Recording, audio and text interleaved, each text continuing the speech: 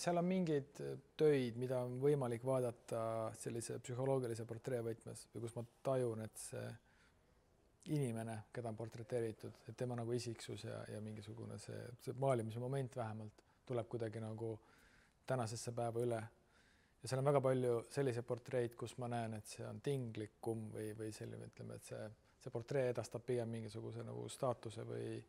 või lihtsalt mingisuguse nagu päritolu ja, ja mingit, mingit, mingit, mingeid muid nagu märke, et nad, nad ei ole nagu psühholoogiliselt niivõrd laetud ja noh, läbi maalitud ja, ja ütleme, et see, see taotlus on olnud nagu teistsugune. Paul Raud on äh, kahe nagu ajastu vahel seisev kunstnik Eesti kunstiajaloos, et seda on ka teised öelnud ja, ja see on kuidagi ilmne, et tema ütleme, akadeemiline haridus ja kõik see, kuidas ta maalib ja milline on tema see baas, et see on kõik hästi akadeemiline, klassikaline ja siis see kuhu ta hakkab nagu iseseisvalt liikuma, kui ta hakkab Eestis ringi käima ja etüüde maalima ja kuidas ta hakkab nagu seda maalimaterjali niimoodi katsetama, jõulisemaks muutma ja keskendub rohkem muljetele ja keskendub rohkem